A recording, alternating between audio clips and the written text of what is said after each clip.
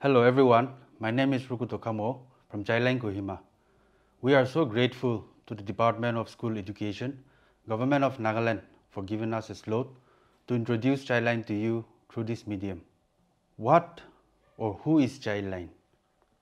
Childline 1098 is a national toll-free helpline number for children in distress and in need of care and protection, which operates 24-7. It is a project under the Ministry of Women and Child Development, Government of India. Childline is currently operating in 570 cities all across India and presently operating in five districts in Nagaland, that is Kohima, Dimapur, Mokokchung, Peren and Kiphire. Who can call 1098?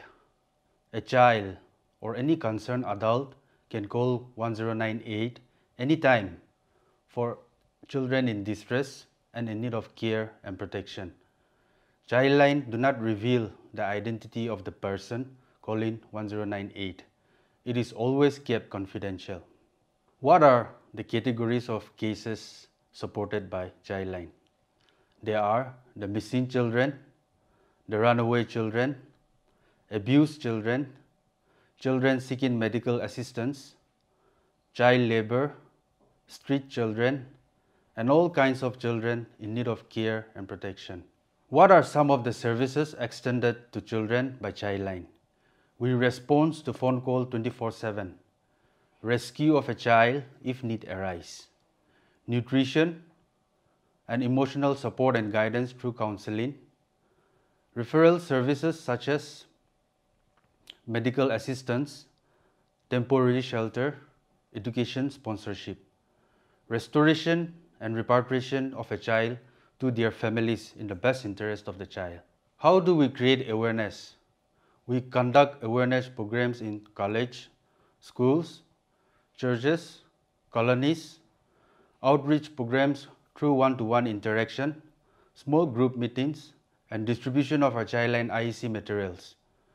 We also create awareness on the existence of Childline and its services and the different laws of our country protecting our children.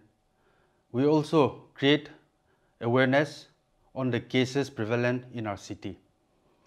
Childline does not work alone or in isolation. We work along with various line government departments and agencies like the district administration, the police department, the legal department, education department, medical department, labor department, the social welfare department, state child protection society, district child protection unit, the child welfare committee, our childline partners in different parts of the country, and all the NGOs working for children. In conclusion, we want to send a message across to everyone that even as the entire world and our nation is battling against COVID-19 pandemic, Childline is still there to reach out to any child in distress and in need of care and protection. We also take this opportunity to make an appeal to each and everyone to please call 1098 whenever you see any child in distress and in need of care and protection. Let us all join hands to make our city a safe place for our children to live in. Thank you. God bless and stay safe.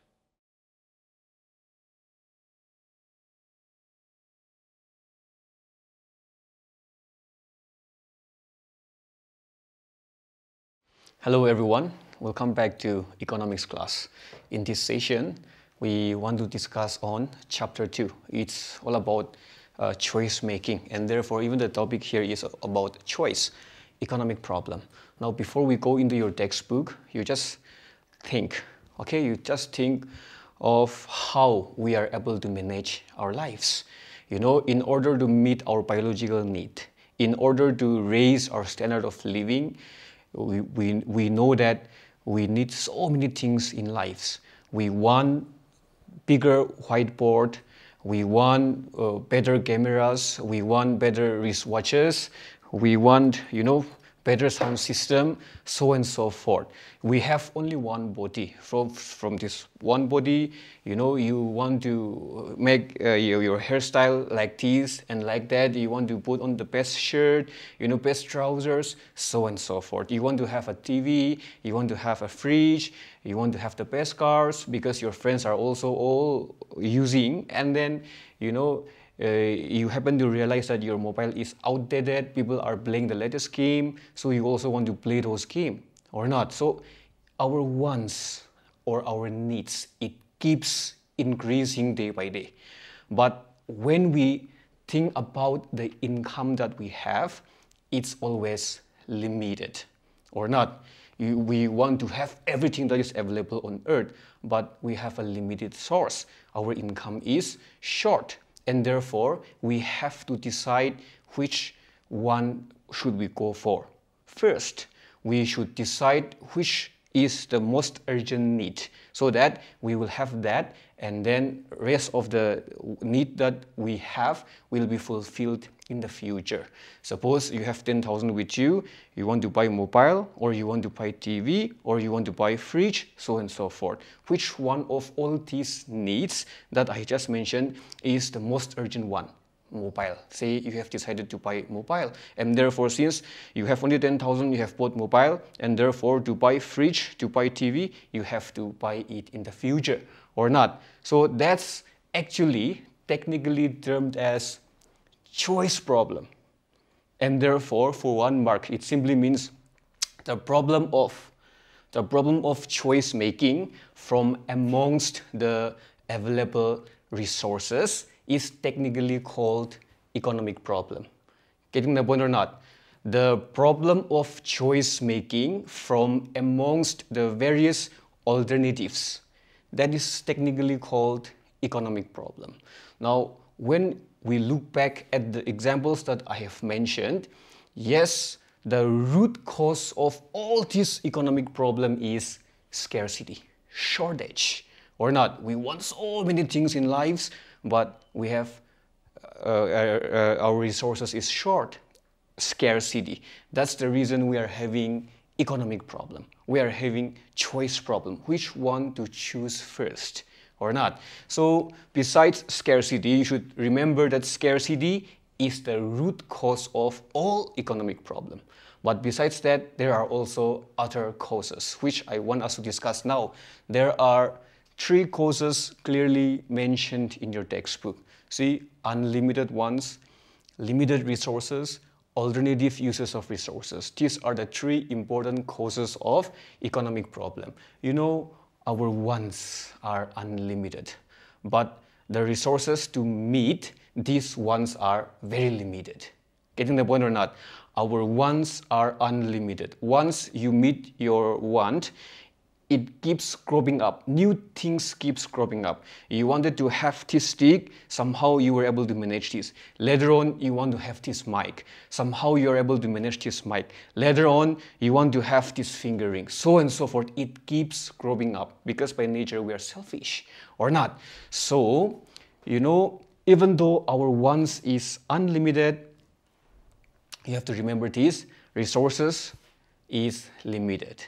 And therefore, there is a choice here. Our wants has different intensities. Our wants has different urgency or not. So you decide which one is the most urgent need at the hour. So that problem of choice making is technically called, you know, economic problem and it comes under unlimited ones. If we want to follow your textbook, uh, it will it will it will be same that already I have explained.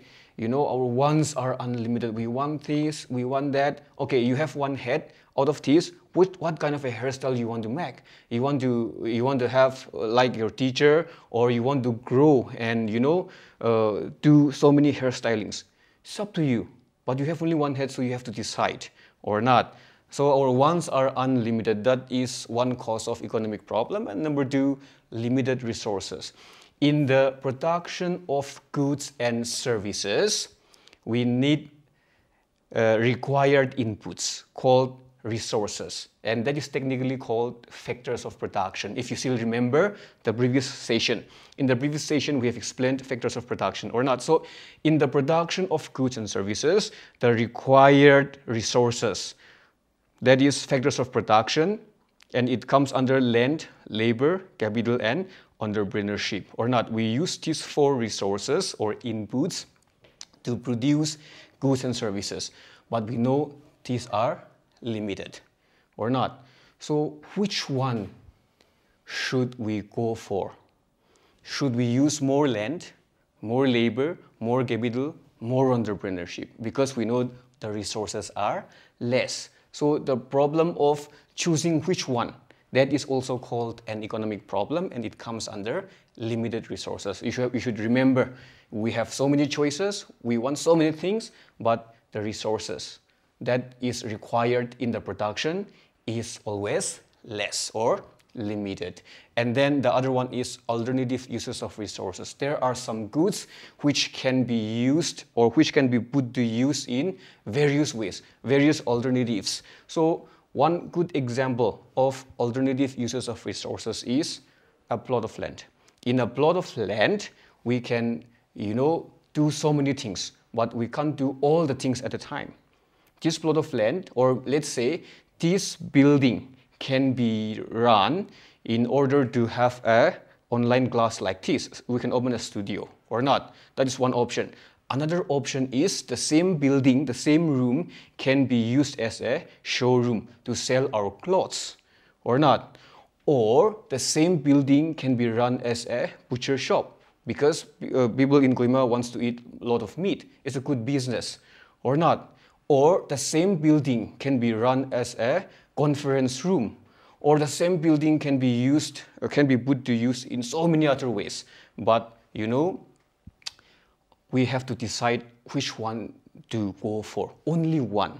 Or if you don't want that, this building can be demolished and can be used to do agricultural activity because we need all those stuff as well, or not. So because the resources that you have is limited and it can be put to various alternative uses is also an economic problem. Now you are confused as to which one to go for. You are undecided either to run this room as a studio or to run this as a showroom or so many things. That is also an economic problem. Understood? So besides scarcity, which is the root cause of an economic problem, these are the three important causes of economic problem. What is economic problem? It simply means the problem of choice making from amongst the available given resources. Clear or not? Okay, so next part we have the central problems of an economy. So what is central problems of an economy? The compulsion all right, you have to refer your textbook. The compulsion of making a choice, if you want to refer your textbook, the compulsion of making choice in the use of resources. The compulsion of uh, making choices in the use of resources by all the production units or by all the economies will be known as central problems of an economy. Clear or not? I'm repeating the compulsion of making choices in the use of resources by all the economies is technically called central problems of an economy. Why it is central? Because the problem exists for all the production units, be it primary sector, be it secondary sector, be it tertiary sector, all the sectors, they face the same problem. That's why it is called central problem. What is the same problem? The same problem of making a choice in the use of the available resources.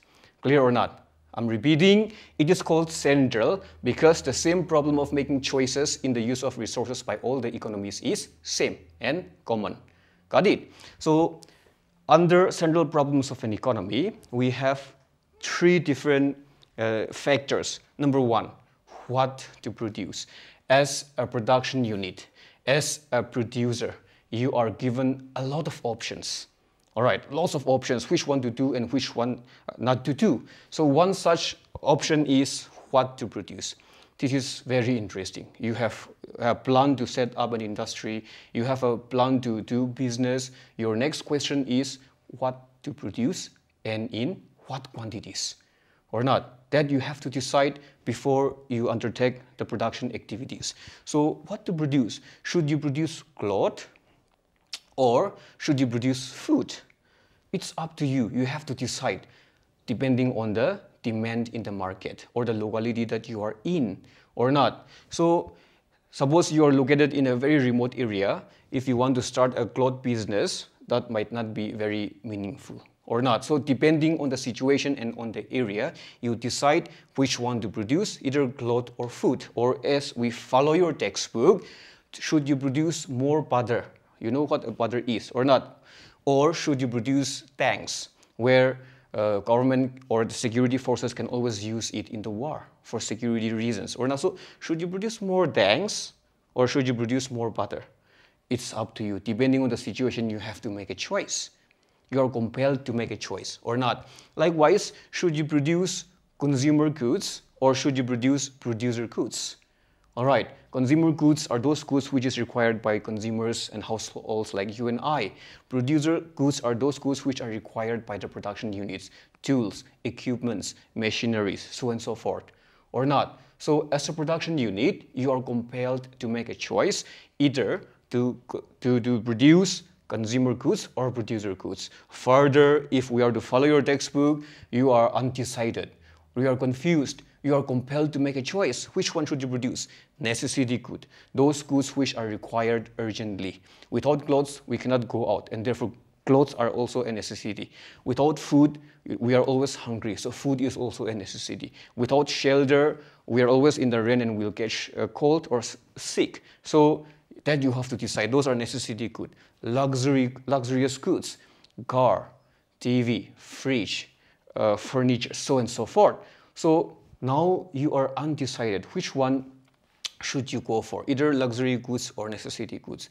You have been thrown open to all these options at a time, and therefore you have to make a choice. That is, that will come under central problems of an economy. Not only you, all the production units who are engaged in the, uh, in the business, in the investment, will face the same problem. All right, I'll not decide, it's you who decide as to what to produce first, and after deciding how much to produce. All right, you know the number of consumers in your community is very less, maybe 100 or so.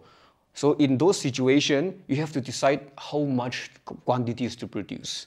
If you produce too much, demand will be less and your, your business is affected. So how much to produce, how, mu how much quantities to produce, it's also always an economic problem. Then we have how to produce. This is very interesting. Suppose you have decided to produce one of these goods and now you have to decide what kind of uh, a technique you want to apply. You know, in order to produce goods and services, you require uh, the factors of production, no doubt, but in the end, you also have to decide which technique you want to apply.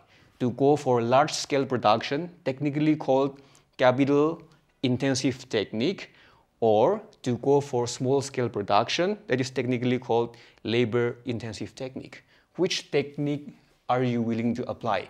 Labor intensive technique is a technique of production which requires large number of labors but small amount of uh, small amount of machines. Are you getting the point or not? So should you apply for this? If you employ large number of labor, the quality of good that you produce will also be of less, less quality or not because you are employing less machine and most of the works are done by human hands. That's one option. Another option is you, you, have, you can also go for capital intensive technique where you will require less labor but you know you will require large amount of capital. The best example is this recording studio we have just one or two uh, friends over here, but they are able to operate this much amount of capital here.